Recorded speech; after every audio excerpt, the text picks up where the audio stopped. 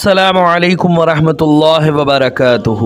حضرات محترم، آج ہم انشاءاللہ زوجل اپنی اس مختصر سی ویڈیو میں ضد کے بارے میں جانیں گے کہ جو لوگ ضد کرتے ہیں اپنی کسی بھی بات میں، خواہ وہ مرد ہو یا عورت، بچہ ہو یا جوان یا بوڑھا کوئی بھی ہو، جو اپنے معاملات میں ضد کرتے ہیں، ضد کے سبب سے انسان کی زندگی میں آخر کون کون سی تباہی، بربادی اور کتنے سارے ایسے معاملات پیش آتے ہیں جس کے سبب سے انسان کی زندگی میں ایسی تباہی آتی ہے، ایسا طوفان آتا ہے کہ پھر انسان اس سے جلدی ابھر نہیں پاتا انہی ضد کی وجہ سے۔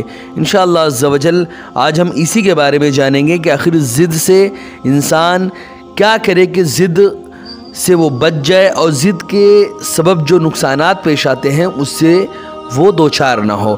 تو آئیے جانتے ہیں کہ ضد سے کیا کیا نقصانات پیش آتے ہیں۔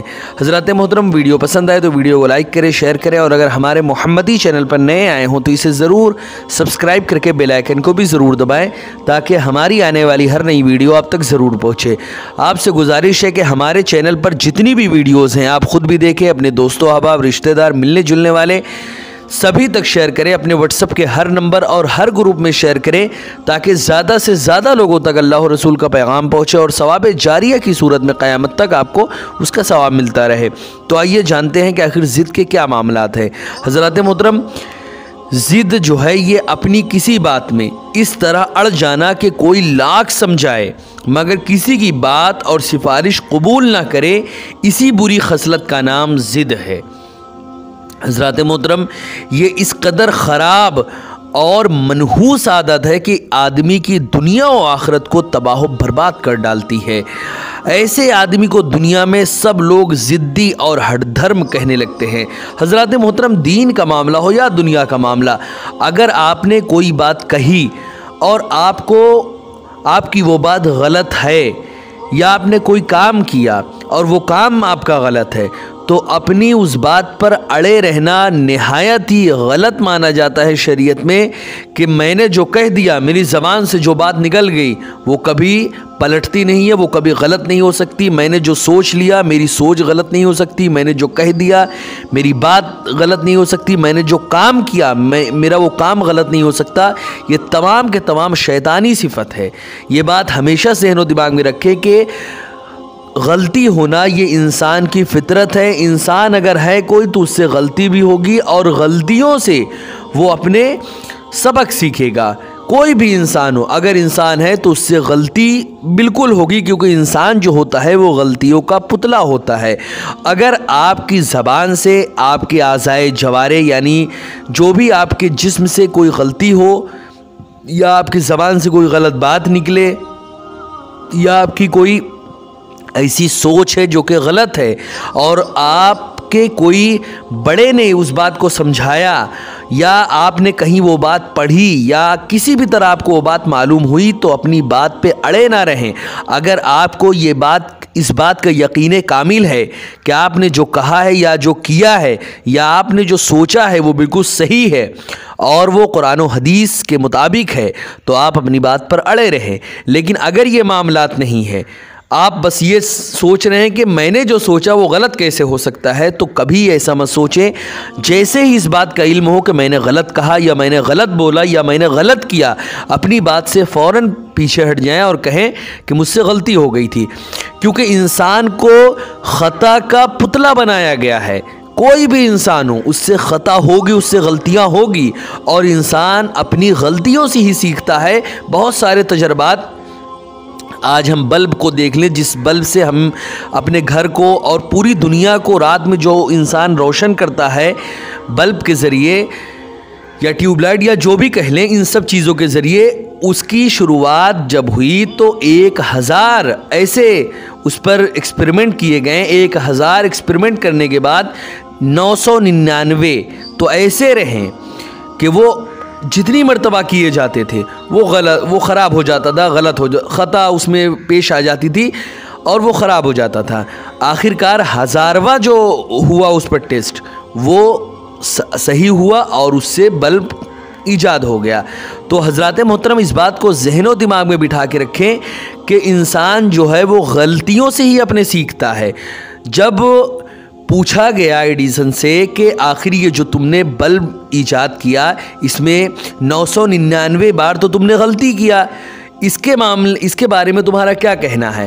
تو اس نے کہا کہ نو سو ننانوے بار جو میں نے ایکسپریمنٹ کیا، جو میرا صحیح نہیں بن پایا بلب، وہ بھی ویسٹ نہیں گیا۔ میں نے ان نو سو ننانوے بار میں یہ جانا ہے کہ نو سو ننانوے وہ طریقے ہیں جس سے بلب نہیں بن سکتا۔ وہ طریقے میں نے اس سے سیکھے ہیں۔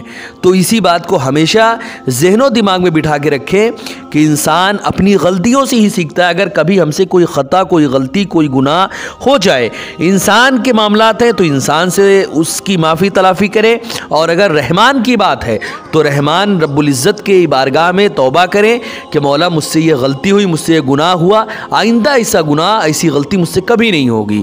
اس بات کا ہمیشہ ذہن میں رکھیں۔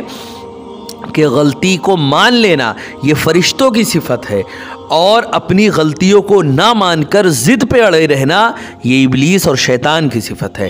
تو اسی لیے ہمیشہ اس بات کو ذہن و دماغ میں رکھیں کہ ضد جو ہے انسان کی آخرت کو تباہ و برباد کر ڈالتی ہے۔ ایسے آدمی کو دنیا میں سب لوگ ضدی اور ہٹ دھرم کہنے لگتے ہیں اور کوئی بھی اس کو منہ لگانے اور اس سے بات کرنے کے لیے تیار نہیں ہوتا۔ حضرات محترم، یہی وہ خبیص عادت تھی جس نے ابو جہل کو جہنم میں ڈھکیل دیا۔ ابو جہل حضور رسول اکرم صلی اللہ علیہ وسلم کا چچا تھا۔ کیا اس کو معلوم نہیں تھا کہ محمد عربی صلی اللہ علیہ وسلم سچ پر ہیں؟ اس کو معلوم تھا۔ کسی نے پوچھا کہ، اے ابو جہل، تم اپنے بھتیجے محمد کے بارے میں کیا کہتے ہو؟ کیا وہ نبی ہے، رسول ہے؟ تو ابو جہل نے کہا قسم خدا کی، محمد اللہ کا نبی ہے، اللہ کا رسول ہے۔ وہ مان، جانتا تھا اس بات کو، لیکن کبھی اس بات کو ماننے کے لیے راضی نہ ہوا کہ محمد عربی صلی اللہ علیہ وسلم اللہ کے رسول ہیں۔ اسی ہٹ دھرمی کی وجہ سے کہ کیسے کوئی انسان، میں قبیلے کا سردار ہوں، میں سب سے بڑا ہوں، آخر کیسے میرے سامنے کوئی بچہ نبی ہو سکتا ہے، کوئی بچہ رسول ہو سکتا ہے؟ کیسے اس بات کو وہ مان لے؟ حالانکہ جانتا تھا اس بات کو، کیونکہ ایسے ایسے معجزات اس نے دیکھے تھے کہ ایک مرتبہ وہ کنویں میں گر گیا۔ کنویں میں گرنے کے بعد اس نے بڑی ساری منت کی کہ، یا رسول اللہ، مجھے نکال دیجیے۔ اگر اے محمد، مجھے نکال دیجیے۔ اگر آپ نے مجھے نکال دیا تو میں آپ کو نبی اور رسول مان لوں گا اور آپ پر ہی مان لاؤں گا۔ تو حضور رسول اکرم صلی اللہ علیہ وسلم نے اپنا معجزہ دکھاتے ہوئے اس کو کنویں کے اندر اپنا ہاتھ ڈالا اور آپ نے اس کو نکال لیا۔ جیسے ہی آپ نے اس کو اوپر نکالا تو اس کی، اس ہٹ دھرمی کے بارے میں آپ، اس ضد کے بارے میں آپ سوچے جو اس نے حق کے خلاف ضد باندھ رکھی تھی۔ اس نے کہا، واہ محمد، تم تو بہت بڑے جادوگر ہو۔ کنویں میں بھی اپنا ہاتھ ڈال کے مجھے نکال لیا، کتنے بڑے جادوگر ہو تم۔ سوچیں آپ زید اور ہٹ دھرمی جہاں پر جا چلی جاتی ہے، وہاں پہ انسان سچ دیکھنے، سچ سننے اور سچ سمجھنے اور سچ کام کرنے سے قاصر ہو جاتا ہے۔ ان تمام باتوں سے وہ دور ہو جاتا ہے۔ اسی لیے ہمیشہ اس بات کو ذہن و دماغ میں بٹھا کے رکھیں کہ سچ ہی کے ساتھ زندگی گزاریں۔ یہی وہ خبیص عادت تھی جس نے ابو جہل کو جہنم میں ڈھکیل دیا۔ ہمارے پیغمبر صلی اللہ علیہ وسلم اور مومنوں نے اس کو لاکھوں مرتبہ سمجھایا۔ اور اس نے شق القمر اور کنکریوں کے کلمہ پڑھنے کا بھی معجزہ دیکھا۔ حضور رسول اکرم صلی اللہ علیہ وسلم نے چاند کے جب دو ٹکڑے کیے تو ابو جہل نے اس کو بھی دیکھا، لیکن ضد اور ہٹ دھرمی اس طرح، اس قدر تھی کہ اس نے اس کو بھی قبول نہیں کیا اور جادوگر اور ساحر کہہ کے مخاطب کیا۔ اور حضور رسول اکرم صلی اللہ علیہ وسلم کے اس معجزے کو جادو سے تعبیر کیا اور حضور اکرم صلی اللہ علیہ وسلم پر ایمان نہیں لایا۔ یہاں تک کہ کنکریاں جو بے جان ہوتی ہیں، ان کو کلمہ پڑھتے ہوئے بھی سنا کہ وہ حضور رسول اکرم صلی اللہ علیہ وسلم کی ذات انور پر حضور صلی اللہ علیہ وسلم پر وہ کلمہ پڑھتی ہوئی نظر آ رہی ہیں، لیکن ان کے ان کنکریوں کے کلمہ پڑھنے کے معجزے کو دیکھنے کے بعد بھی وہ ایمان نہیں لایا۔ ان تمام معاملات کو دیکھا اس نے، مگر پھر بھی اپنی ضد پر اڑا رہا اور ایمان نہیں لایا۔ حضرات محترم، قرآن و حدیث میں یہ حکم ہے کہ ہر مسلمان مرد و عورت پر یہ لازم ہے کہ اپنے بزرگوں اور مخلص دوستوں کا مشورہ ضرور مان لے۔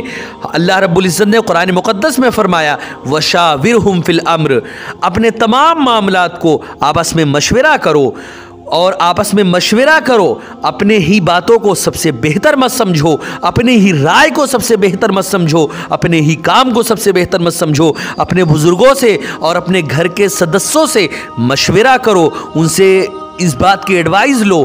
پھر جو باتیں تم کو قرآن و حدیث کے مطابق صحیح لگے آپ کو ان تمام باتوں میں جو صحیح لگے وہی آپ کریں۔ لیکن مشورہ ضرور لیں، کیونکہ آپ جب بزرگوں سے مشورہ لیں گے، اپنے بڑے بوڑھوں سے مشورہ لیں گے، تو آپ کو ایسی سی باتیں سننے کو ملیں گی، جو آپ کے ذہن و دماغ میں مزید اضافہ فرمائیں گی اور آپ کے سوچنے، سمجھنے کی صلاحیت میں اور اضافہ ہو جائے گا جب آپ اپنے بڑے بوڑھوں سے مشورہ لیں گے۔ اگر آپ کو اپنے بڑے بوڑھوں اور مخلص اور دوستوں کا مشورہ صحیح لگے تو اس کو ضرور مان لیں اور مسلمانوں کی جائز سفارشوں کو قبول کر کے اپنی رائے اور اپنی بات کو چھوڑ دیں۔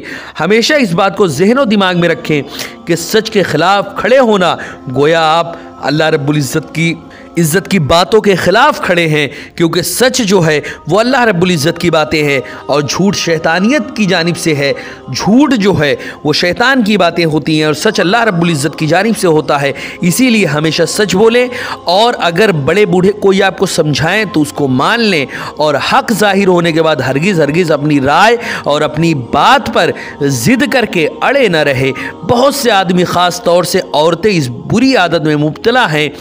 خدا کے لیے ان سب ان سب کو چاہیے کہ اس بری عادت کو چھوڑ کر دونوں جہانوں کی سعادتوں سے سرفراز ہوں۔ اور یہ بات ہمیشہ اپنے ذہن و دماغ میں رکھیں کہ جھکنا جو ہے، یہ تو زندوں کی پہچان ہوتی ہے، اکڑنا تو مردوں کی نشانی ہوتی ہے۔